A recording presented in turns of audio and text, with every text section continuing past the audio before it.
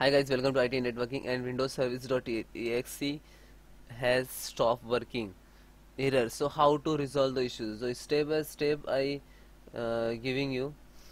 So then guys click to start button and type cmd and then enter you can try to run an administrator right click to run as administrator. So you're giving full permissions. Okay.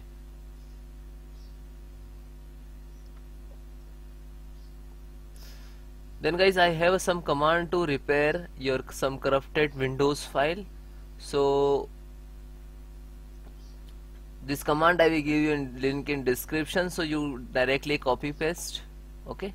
First command is eh, sfc slash scan now. You look at in the screen.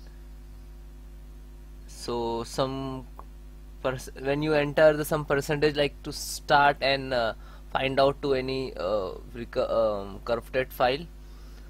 Okay. And then second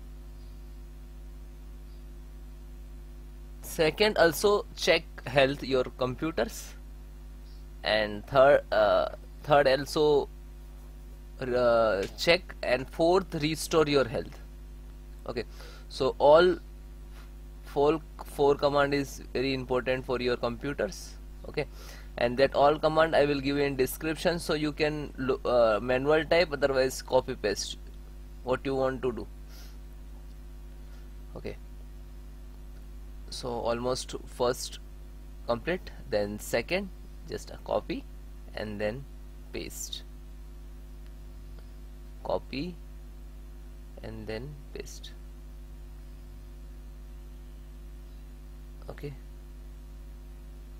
Yeah. And then enter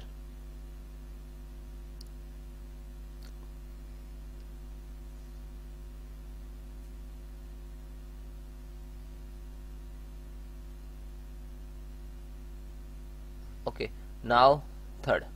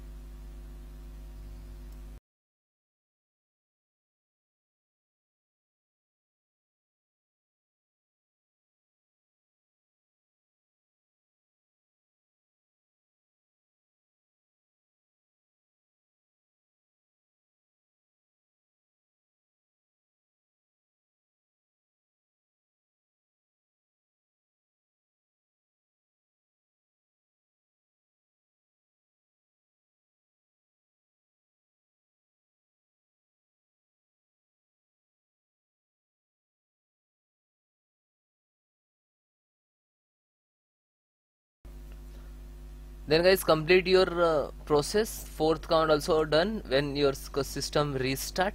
And then check your problem is 100% solved. Okay bye bye take care. And you comment me have any issues. So whatsapp me? Number is on banner. Bye second step is guys click to start button and go to setting. Then click to windows update and if you have any pending updates so please re, uh, install download update and install. Okay. And now third uh, third method. Open file manager. Click to this PC right click to this this PC show options. Then click to manage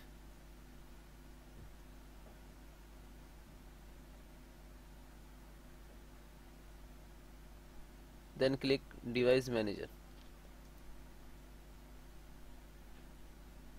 So all update like display all update right click to update. So one by one try. Okay monitor update. Only for important important network. This is for use for internet close and all and some showing like this also okay?